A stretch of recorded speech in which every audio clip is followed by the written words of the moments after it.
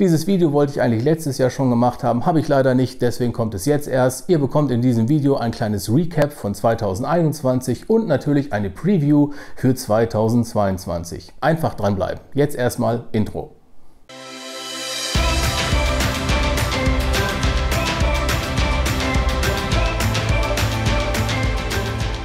Glück auf und willkommen zu einem neuen Video. Ich bin der Daniel von Mein Ohrenkino und ich freue mich natürlich, dass ihr wieder mit am Start seid.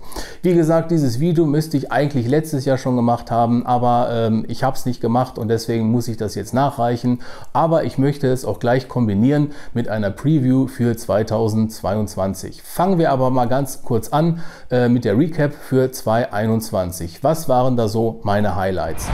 Insgesamt muss ich sagen, dass 2021 für mich ganz gut gelaufen ist. Also hörspieltechnisch ist es sehr gut gelaufen. Ähm, ich habe zwar nicht so viel auf diesem Kanal hier hochgeladen, aber hinter den Kulissen äh, und auf meinem Blog äh, äh, und auch so viele Projekte sind entstanden, muss ich einfach sagen, ist es ganz gut gelaufen.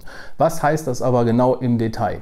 Ähm, wir haben zum Beispiel einige Creepy Tales hochgeladen, das waren glaube ich drei Stück. Wir haben auch neue Creepy Tales eingesammelt, also neue Geschichten. Da geht es in jedem Fall weiter, da müsst ihr euch keine Sorgen machen machen. Dann habe ich natürlich äh, die erste Staffel vom Maturum Kibus abgeschlossen. Das habe ich mit dem Zweiteiler Pandora gemacht und ich muss sagen, äh, das war mir wirklich eine Herzensangelegenheit, weil ich weiß, ich habe viel zu lange für die Einzelteile gebraucht. Die Abstände zwischen den einzelnen Videos war viel zu lange und äh, das werde ich auf jeden Fall beim nächsten Mal besser machen. Ein Mega-Highlight auf jeden Fall für mich war auch die Hörspielcon von Thomas Bierker, Dreamland and Friends. Äh, nicht nur, weil ich Leute aus meiner Cast getroffen habe oder Ivan Leon Menger. Äh, nein, ich habe auch mit Thomas äh, ähm, persönlich gesprochen. Wir haben uns endlich mal kennengelernt und natürlich, wir haben auch darüber gesprochen, ähm, ob wir denn nicht mal zusammen irgendwas machen können. Aber dazu erzähle ich euch gleich noch ein bisschen mehr. Worüber ich mich auch sehr gefreut habe, war, dass letztes Jahr die Uni Osnabrück angefragt hatte, ob ich nicht ein äh, Webinar halten könnte zu dem Thema, wie schreibe ich ein Hörspielskript. Die haben im Zuge eines Semesters, äh, äh, wollten die ein eigenes Hörspiel machen und haben mich dazu quasi eingeladen, dass ich den Studenten mal so ein bisschen erkläre, wie das Ganze funktioniert. Ähm, ich habe auch vor kurzem ein Interview dazu hochgeladen, auch auf meinem Kanal, das verlinke ich euch nochmal äh, hier auf jeden Fall in der Videobeschreibung. Wenn ihr da Bock drauf habt, auf jeden Fall äh, lasst euch das nicht entgehen. Was ich auch mega fand, war, dass mein Blog, also mein ohrenkino.de, äh, deutlich gewachsen ist. Ich habe deutlich mehr Zugriffe als noch 2022. Ich habe insgesamt äh, knapp 10.000 äh, User gehabt, die letztes Jahr meinen Blog besucht haben. Ich habe fast 40.000 Seitenklicks äh, erreicht und ich habe insgesamt 300 oder über 350.000 Impressions gesammelt. Für meinen kleinen Blog muss ich wirklich sagen, ist das schon wirklich mega und dafür möchte ich auf jeden Fall euch danken, ähm, dass ihr euch so dafür interessiert interessiert und dass ihr auch auf meinen Blog geht, euch die Rezension durchlest. Auf jeden Fall vielen Dank dafür. Kommen wir zu den Dingen, die in 2021 nicht so gut funktioniert haben und die mich zugegeben auch ein ganz klein bisschen angefressen haben. Ich habe ja letztes Jahr und auch schon davor das Jahr äh, quasi Verstärkung für das Team gesucht. Ich habe jemanden gesucht, äh, der äh, mich unterstützt beim Schneiden von den Hörspielen äh, und auch so ein bisschen vielleicht die Produktion mitmacht. Und ähm, für die Creepy Tales habe ich auch jemanden gefunden und äh, das hat leider nicht, das hat eigentlich, also es hat schon funktioniert. Er hat ein, ein Hörspiel gemacht, er hat ein Creepy Tale gemacht, das auch wunderbar funktioniert hat. Überhaupt keine Frage und ich will auch keinem Vorwurf machen. Was aber nicht funktioniert hat, ist einfach, dass die Leute dann am Ball bleiben und mich quasi weiter unterstützen. Es sind immer nur einzelne Projekte und es ist sehr mühselig, da jemanden zu finden und ich konnte bis jetzt noch niemanden davon überzeugen, dass er wirklich regelmäßig bei meinem Ohrenkino mit einsteigt und mich unterstützt. Ich muss muss sagen, das hat mich wirklich enttäuscht, dass ich da nicht wirklich jemanden gefunden habe. Und, ähm, aber wie gesagt, ich gebe die Suche nicht auf. Ich werde auf jeden Fall weitersuchen in der Hoffnung, dass ich vielleicht doch noch jemanden finde.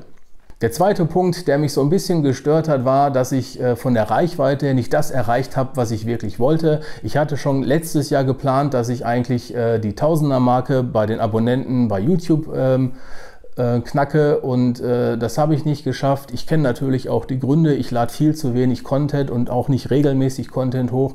Das ist aber ein Umstand, den ich einfach so nicht spontan abstellen kann. Deswegen freut es mich umso mehr, dass ihr mich immer unterstützt, auch wenn ich nicht regelmäßig Content hochlade und freue mich wirklich über jeden Kommentar, den ihr macht. Ich freue mich über jeden Like und äh, das bestärkt mich wirklich, mit diesem Projekt einfach hier auf YouTube auch weiterzumachen. Deswegen vielen Dank nochmal an der Stelle für euren Support.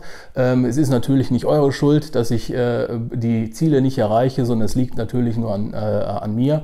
Aber trotzdem, ich finde es wirklich mega, dass ihr mich auf jeden Fall so unterstützt und ich merke auch, dass es in letzter Zeit wirklich deutlich mehr äh, wird. Ich bekomme mehr Anfragen, ich bekomme mehr Kommentare auf die Videos und ich muss sagen, das äh, freut mich wirklich und das bestärkt mich dann, damit weiterzumachen. Kommen wir aber jetzt zu der Preview für 2022. Was habt ihr zu erwarten? Was möchte ich alles machen? Ähm, fangen wir einfach mal an mit den Projekten, die jetzt schon laufen. Äh, dass ich euch eine kleine Übersicht geben kann. Ich habe im letzten Jahr schon angefangen. Alle, die mir auf Instagram und Facebook folgen, werden das schon wissen. Ich habe für Holysoft äh, eine Produktion gemacht. Die habe ich jetzt kürzlich abgeschlossen und zwar letzte Woche. Das Master habe ich äh, zur Korrektur geschickt und es ist abgenickt worden und das Projekt ist abgeschlossen. Dabei handelt es sich um ähm, einen Karl-May-Klassiker und zwar der Schwarze Kapitän. Das ist auch nicht meine erste Holysoft-Produktion. Ich habe ja schon mal vor einiger Zeit äh, eine Produktion für die gemacht und sie haben auch gesagt, sie würden auch gerne weiterhin mit mir zusammenarbeiten. Deswegen kann es durchaus sein, dass ich nochmal für die eine Produktion mache. Hätte ich auf jeden Fall mega Bock drauf. Ob das dieses Jahr sein wird, das weiß ich noch nicht. Nachdem ich jetzt Holysoft abgeschlossen habe, habe ich auch gleich schon wieder die nächste Produktion vor der Brust und zwar für Contendo Media. Christoph Piasecki, der Kopf von Contendo Media, hat mich gefragt, ob ich nicht wieder Bock hätte, ein, äh, ein nicht kein Creepy Tale, sondern ein äh, Midnight Tale zu machen. Und da habe ich natürlich auch wieder zugesagt. Autor der Geschichte ist wieder Frank Hammerschmidt, den kennt ihr aus den äh, Zukunftschroniken. Und ähm, da habe ich mich auch sehr darüber gefreut, äh, dass er meine Arbeit zu schätzen weiß und auf mich zurückgekommen ist. Und äh, wann das Ganze erscheint, weiß ich nicht. Ich habe jetzt gerade so angefangen, äh, so die ersten Seiten zu vertonen. Und äh, da komme ich auch ganz gut voran. Und ich gehe auch mal davon aus, dass ich äh, wahrscheinlich schon, ja, ich gehe mal davon aus, äh, nächsten, spätestens übernächsten Monat auch diese Produktion abgeschlossen haben werde. Macht auf jeden Fall mega Spaß. Dann hatte ich ja euch noch erzählt, dass ich bei Dreamland and Friends äh, mit Thomas Beker gesprochen hatte und da haben wir natürlich auch so ein bisschen mal besprochen, was wir denn äh, zusammen so auf die Beine stellen können. Und er hat mich dann jetzt gefragt, ob ich nicht Lust hätte, für Tony Ballard den Dialogschnitt zu übernehmen. Und ich muss sagen, das hat mich wirklich gefreut, weil nicht nur, dass ich Tony Ballard äh, gerne höre, sondern dass ich jetzt Teil davon sein kann. Ich muss sagen, da habe ich wirklich Bock drauf und da freue ich mich drauf und ich hoffe auch, dass das ganz gut funktioniert. Also ich werde erstmal, ähm, wir haben so vereinbart, die ersten vier Produktionen übernehmen und dann schauen wir einfach mal, wie das Ganze funktioniert und ich hoffe, dass es funktioniert und ich äh, weiter für ihn arbeiten kann, weil ähm, ich muss sagen, Teil von diesem Team zu sein, das fände ich schon wirklich super und da habe ich mich wirklich unheimlich drüber gefreut. Dann gibt es noch ein paar Projekte, äh, die in Planung sind, wie zum Beispiel äh, Maximilian Stark, einen zweiten Teil. Äh, ich muss sagen, Maximilian Stark, das war ja mein allererstes Hörspiel und ich habe immer schon geplant, das, diese Geschichte fortzuführen. Und äh, das hat aber während den ganzen äh, Produktionen, die ich sonst so gemacht habe, nie funktioniert. Und ich habe mir wirklich gesagt, dieses Jahr 2020 möchte ich auf jeden Fall zumindest das Skript für den zweiten Teil von Maximilian Stark ähm, schreiben. Es wird auf jeden Fall eine große Änderung geben. Ähm, es gibt in der Geschichte ja einige quasi, die äh, auch jetzt im zweiten Teil vorkommen. Ich habe mich aber dazu entschieden, die komplette Cast ganz neu zu besetzen. Ähm, das liegt nicht daran, dass ich gesagt hätte, dass meine Freunde es nicht wert gewesen wären. Darum geht es überhaupt nicht. Aber es ist einfach so, dass ich mittlerweile viel mehr Kontakte in die Hörspielszene habe. Ich kenne viel mehr Sprecher und äh, das Spektrum ist einfach größer und das möchte ich ganz gerne ausschöpfen. Da freue ich mich auf jeden Fall drauf, diese Geschichte, weil ich habe lange schon überlegt und ich habe äh, an vielen Stellen habe ich mir schon Sachen aufgeschrieben und äh, dieses Skript muss jetzt eigentlich nur noch so so in Reihe und Glied gebracht werden und wartet dann nur noch auf die Produktion. Und wenn es gut läuft, würde ich auch dieses Jahr schon mit der Produktion anfangen. Das nächste Projekt, was ich zu stemmen hätte, das wäre auf jeden Fall die zweite Staffel von Mortorum Kibus. Ähm, auch wenn die erste Staffel so ein bisschen kurios gelaufen ist, habe ich aber an den Zahlen gesehen, dass es doch in, die Leute interessiert und dass ihr da durchaus gerne mehr von hättet.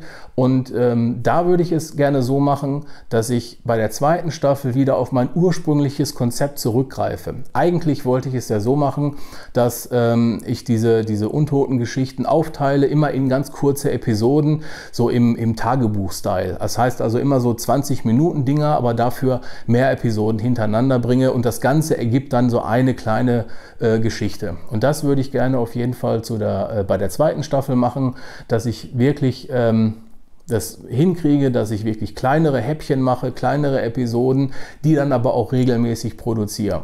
Bedeutet also, ich würde tatsächlich alle Episoden zu Ende schreiben und erst wenn ich die allerletzte Episode zu Ende geschrieben habe, beginne ich auch äh, mit der Produktion und ich würde auch so weit produzieren, dass ich euch regelmäßig äh, quasi immer eine neue Episode präsentieren kann und äh, nicht wie bei der ersten Staffel, dass ihr irgendwie zwei Jahre auf einen kleinen Teil warten müsst.